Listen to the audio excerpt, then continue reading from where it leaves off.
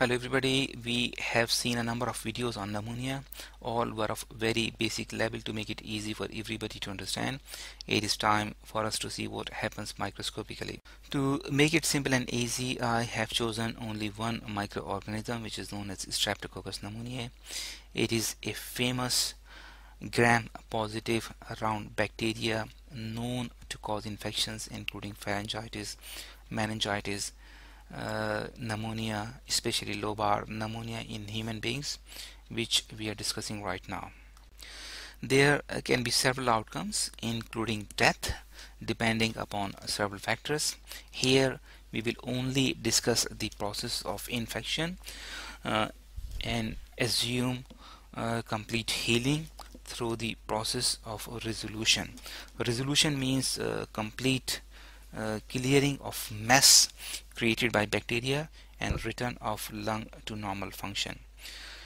Some of the processes shown in this slide and in next two slides happen in order while other happen simultaneously with other processes. Infection starts uh, when bacteria make their way to alveoli of lungs. Alveoli always have uh, macrophages which start phagocytosis means they start killing the bacteria. And if they completely finish the bacterial population that has managed to enter in alveoli of lung then nothing goes wrong and process finishes.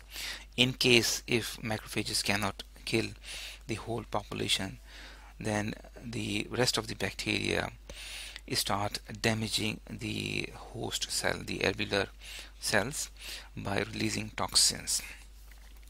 Hemolysin is a toxin that is produced by uh, and, and, released by some bacteria including Streptococcus pneumoniae which damages red blood cells in order to release uh, hemoglobin from it which is used by bacteria as nutrient as as food Pneumolysin is another toxin that creates uh, holes in host cells again to release their contents which again is used by bacteria as food.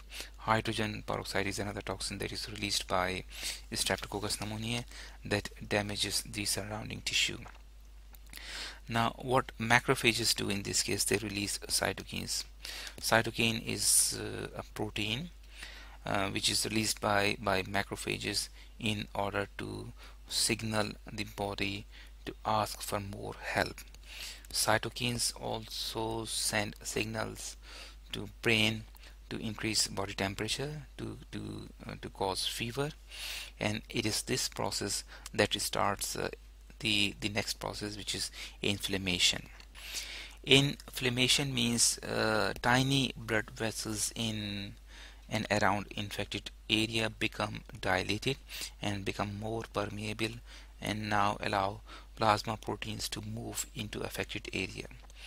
Dilated blood vessels also allow extra blood flow creating redness, heat and swelling and in the meantime neutrophils are deployed uh, which start phagocytosis again alveoli uh, get filled with exudates and exudates are composed of dead cells neutrophils fibrin lysed uh, blood uh, especially lysed uh, RBCs broken down RBCs uh, it is this lysed blood which gives brownish color to the sputum of infected person.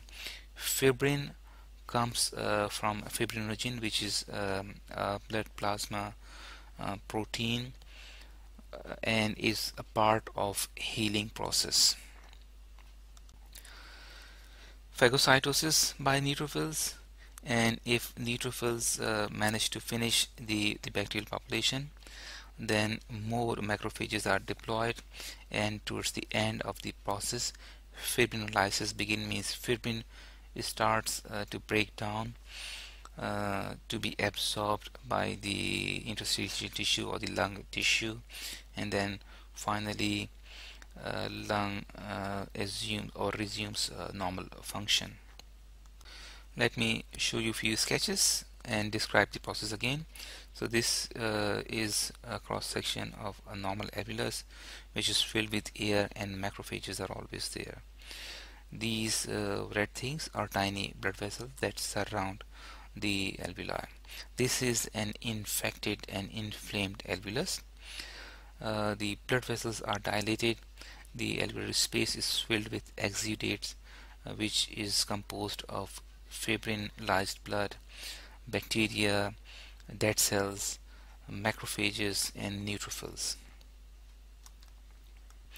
Let me show you a longitudinal cross section from this interface here which should look like this. So this is a blood vessel. These are endothelial cells. This is a, normal alveolar space filled with air. This is uh, uh, this al uh, alveolus is filled with exudates as a result of cytokine release. The neutrophils are deployed to the area of infection and they are heavier than the red blood cells. What they do they push these endothelial cells apart to make their way to the the alveolar space here and start the process of phagocytosis. A typical picture of pneumonia uh, a lobar pneumonia which is usually caused by streptococcus pneumoniae if you take a sample from here and put it under microscope the sample should look like this so this is uh, pleura visceral pleura. Uh, this is the normal lobe and this is infected lobe. So the alveoli here are filled with air as opposed to this junk here uh, which is uh, composed of in initial stages uh, fibrin and uh, neutrophils. And towards the end of the uh, process uh, you'll see more macrophages in there rather than neutrophils